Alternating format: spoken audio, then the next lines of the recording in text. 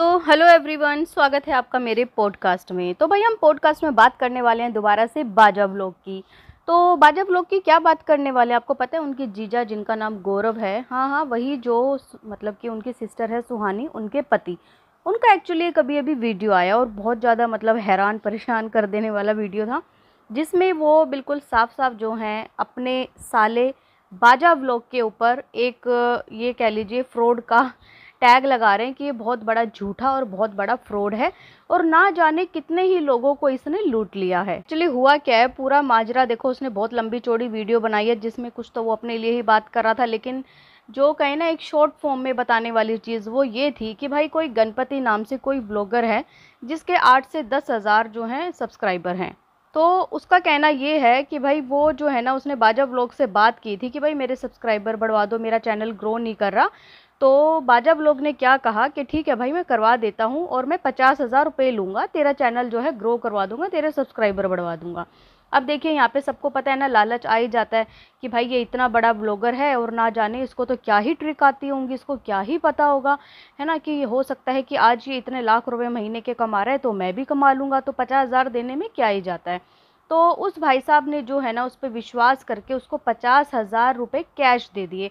अब सबसे बड़ी सोचने वाली बात यह है कि जैसे कि सुहानी के पति ने बताया कि आज के टाइम में फ़ोन पे हो गया, पेटीएम हो गया, गूगल पे हो गया, ये चीज़ें कौन यूज़ नहीं करता।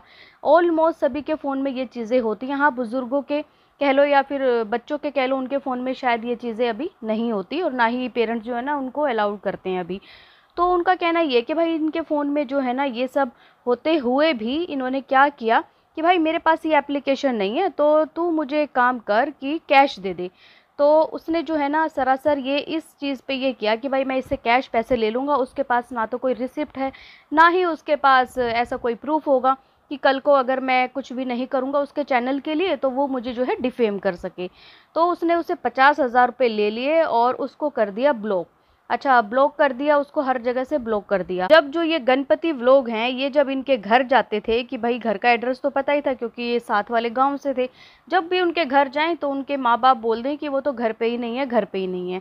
तो इस तरीके से जो गणपति व्लॉग है ना, वो ठगे गए बहुत अच्छे तरीके से। और इनका कहना ये है, जो इनके जीजा हैं गौरव, कि भाई ना जाने इन्होंने कितने ही लोगों को ठगा है।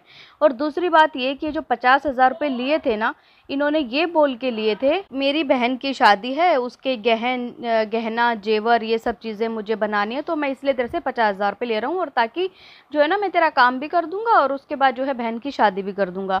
तो अब देखिए कि उसकी बहन की शादी की रील्स तो खैर इसके चैनल पर बहुत सारी पड़ी हैं, जो किसने गुपचुप तरीके से जो है बहन की शादी की थी और जो है इसका कहना ये है कि वो नाबालिग थी और वो घर से भाग गई थी, उसके बाद जब मुझे पता लगा तो हमने उसे बुलाया और उसकी शादी कर दी। तो सबसे बड़ी बड़ी गलती तो इन्होंने खुद की कि अपनी बहन की शादी इन्होंने क्यों करवाई?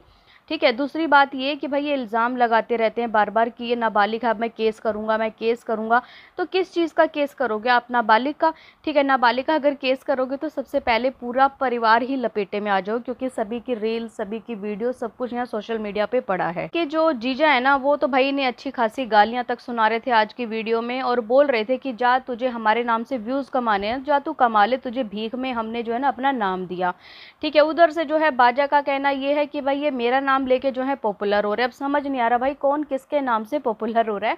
लेकिन अगर देखो, अगर देखा जाए तो बाजा ही कहीं ना कहीं पॉपुलर हो रहा है अपनी बहन को बदनाम करके, क्योंकि वो कहते हैं ना, आपने वेब सीरीज़ देखी होंगी part one part two part three ऐसे तो ऐसे ही इन्होंने ना अपनी बहन को बदनाम करने में, अपने माँ बाप को बदनाम करने में एक बहुत लंबी चौड़ी वेब सीरीज़ बना दी है। अरे भाई, लोगों का तो ये तक कहना है कि जैसे कि क्राइम पेट्रोल के एपिसोड आते हैं ना, किसी दिन ये मुझे लगता है कि क्राइम पेट्रोल के एपिसोड तक ये भाई साहब जो है ना बना देंगे। तो भाई, इतना तो किसी ब्लॉगर ने नहीं किया होगा, भाई, इतना तो कंटेंट किसी ने नहीं निकाला होगा, जितना कि इस बाजा ब्लॉग ने निकाल लिया अपनी बहन को बदनाम करके।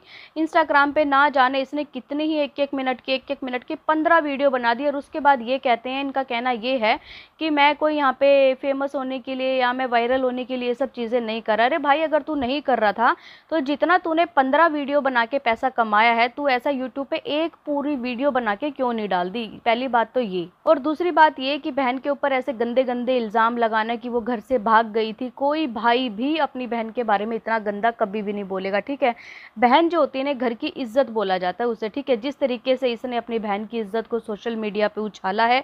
मतलब कि मैं तो ये कहती हूँ कि भाई, जितने भी लोग देखते हो, देखना बंद कर दो। ये लोग जो है ना, अपने आप को इन्फ्लुएंसर बोलते हैं। हम इन्फ्लुएंसर हैं, हम इन्फ्लुएंस कर रहे हैं। क्या इन्फ्लुएंस कर रहे हो? छोटे ब्लॉगर्स को क्या सिखा रहे हो? ये सिखा रहे हो कि अपने घर को बदनाम करके अपने आप को वायरल कर लो, अपने घर को बेच के जो है ना, अपने घर की इज़्ज़त को बेच के आप लोग यहाँ से डॉलर कमा लो। ये सब चीज़ें सिखा रहे हो, ये तुम लोग? अब देखिए, बाजा व्लॉग भी जो है ना लपेटे में आ चुका है। बाजा ने सोचा था शायद उनके पास ऐसा कुछ भी नहीं होगा, मेरी बहन या जीजा के पास, मेरे खिलाफ और मेरे पास ही सारे सबूत। सबूत के नाम पे तो खैर ऐसा कुछ भी नहीं दिखाया इन्होंने। एक वो जो रील्स वगैरह बनी थी, वो तो देखो पब्लिक प्लेटफॉर्म पर ऑलरेडी पड़ी है शादी वाली। और अगर प्रूफ की बात की जाए तो देखिए, यहाँ पर जनता जनार्दन है, किसी के बोलने से या फिर किसी के कहने से जो है ना कभी नहीं मानती, ठीक है, जब तक लोगों के सामने कोई ऐसा प्रूफ ना आ जाए।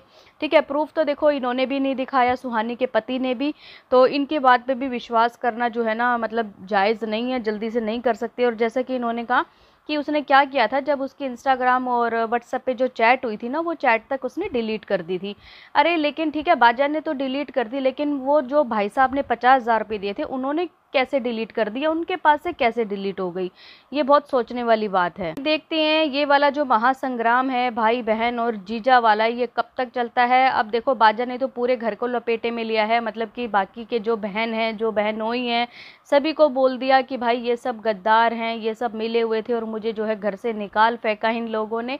अब इसके पीछे की सच्चाई क्या है? क्या ये कॉन्ट्रोवर्सी झूठी है, सिर्फ़ और सिर्फ़ भाई बहन दोनों फ़ेमस होना चाहते हैं? या फिर मतलब ये लगा लो कि पैसा कमाना चाहते हैं। इस, इसके लिए इन्होंने जो है घर की इज़्ज़त को यहाँ पे वाई टी पे कह लो या इंस्टाग्राम पे कह लो, ला के रख दिया है लोगों के सामने। और लोग आप मानोगे ऐसे ऐसे कमेंट्स कर रहे हैं कि मतलब कि अगर कोई नॉर्मल इंसान हो तो शायद वो जो है ना इस तरीके की रील्स या घर की जो बेज़ती कर रहे हैं, वो सब बनाना बंद कर दे। लेकिन इनको कोई फ़र्क नहीं पड़ता। लोग क्या लिख रहे हैं? लोग गालियाँ लिख के जा रहे हैं। लोग पता नहीं बोल रहे हैं अनसब्सक्राइब कर दो। लोग बोल रहे हैं कि हम तेरी रिपोर्ट करेंगे। लेकिन इनको कोई मतलब फ़र्क ही नहीं पड़ता। तो वहीं पे इनके जीजा का कहना भी है कि भाई हमें भी कोई घंटा फ़र्क नहीं पड़ता।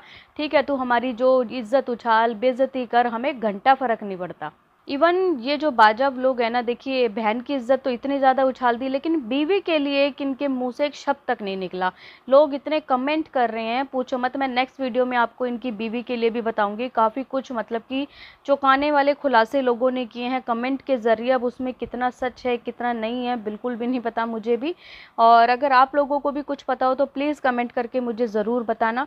और ये भी बताना कि आप लोगों को क्या लगता है कि ये जो कॉन्ट्रोवर्सी अभी भाई बहन की चल रही है, ये है या सच में ये इस तरीके की हरकतें कर रहे हैं या फिर सिर्फ़ और सिर्फ़ इन्हें पैसा चाहिए, इसलिए हरकत कर रहे हैं?